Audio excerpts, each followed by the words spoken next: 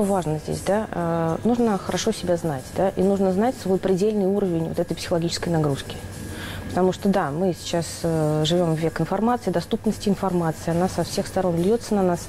И очень много даже ну, люди, бывают, теряют времени да, в тех же, в интернете, в соцсетях, потому что идет, идет, идет. И, ну, понятно, что так сделано, чтобы мы не могли остановиться, да, чтобы нас цепляло, цепляло, цепляло, и мы читали дальше, дальше, больше, больше, там час проходит, два проходит, и человек не может никак остановиться, и все смотрит и смотрит, что там еще, какие новости и так далее, особенно вот в этой ситуации нашей. Вот, поэтому а, не а, ну, как бы не поддаваться на все это, да, не идти на поводу у, так скажем, тех, кому выгодно, чтобы мы много читали, много э, пребывали э, в соцсетях, допустим, да, вот, а учиться регулировать свое состояние и учиться заботиться о себе. А, потому что у каждого человека есть предел. Есть предел нагрузки. И надо его свой предел знать. Э, для кого-то он весь день будет в соцсетях сидеть и, собственно, нормально выдержит, да, весь этот поток, и как об стенку горох, да. А для кого-то, ну, не знаю, несколько таких больных тем, и все, и человек впадает уже в, в состояние травмы. Вот. И нужно знать свои особенности. И даже если мы их не знаем, все равно заботиться о себе заботиться и ограничивать. Ограничивать самостоятельно, не ждать, что кто-то там, что э, замедлят Facebook, да, там, отключат э, Инстаграм и прочее. Нет. Э, самим о себе заботиться. Это только наше дело как взрослых людей, да, если мы считаем себя взрослыми людьми, э, наше э, дело как взрослых людей уметь э, управлять вот этим процессом и уметь управлять собой и своим состоянием. Помогающих практиков никто не отменял, да, специалистов, психологов, психотерапевтов никто не отменял. Они здесь, они никуда не делись, они присутствуют, их много разных, да, можно выбирать все так же.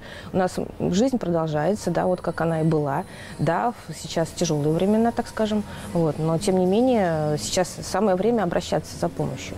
И есть, э, э, есть специалисты, которые бесплатно предлагают свою помощь, есть специалисты, которые по, ну, по, по-прежнему, да, без повышения цен, работают, да, точно так же обращаться и э, помогать себе и таким образом. А, почему нет? Потому что а, бывает так, что действительно человек сам у себя не видит чего-то, не справляется, не отслеживает, да, а, и нужен взгляд со стороны, нужна поддержка со стороны. Родные тоже в стрессе не могут поддержать, они тоже перегружены, да идти и получать помощь у специалиста, так и говорить, да, мне тяжело, мне страшно, я вот э, скупила всю гречку, да, мне сахар еще добавила, вот, в магазинах, да, пропал сахар, вот. А, что, ну вот, помогите мне, я хочу прийти в, в нормальное состояние, насколько это возможно в этой ситуации. Вот, потому что сейчас действительно, да, если брать чисто такие психотерапевтические, психологические моменты, сейчас включаются очень сильно динамики Великой Отечественной войны. А их э, у нас у всех очень много. Динамики – это ну, так называемые сюжеты, сценарии, да, истории, программы, вот это все. У нас включается, да, когда там мы видим самолеты летящие, да, у нас включается эта генетическая память наших бабушек, там, дедушек, прабабушек, прадедушек. И мы можем проваливаться в те же самые э, травмы, коллективные травмы, в которых пребывали наши предки.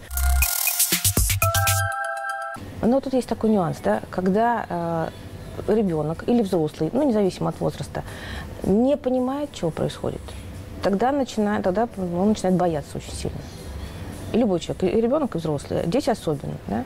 И если дети слышат, что там э, ругаются родственники, да, там кто-то позвонил своим родственникам на Украину, там начался конфликт, там напад... взаимное нападение, они на нас, мы на них, там и вот эти выяснения, кто прав, споры и так далее, ребенок э, пребывает в состоянии неизвестности, что вообще происходит. Было все нормально, да, и вдруг вот началось, какие-то какие выяснения начались.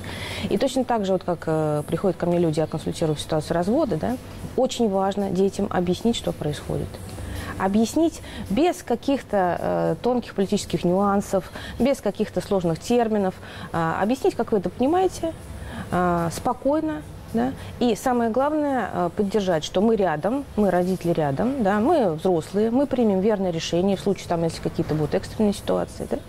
Вот. Ну, то есть можешь положиться на нас, спокойно учись, э, живи, общайся.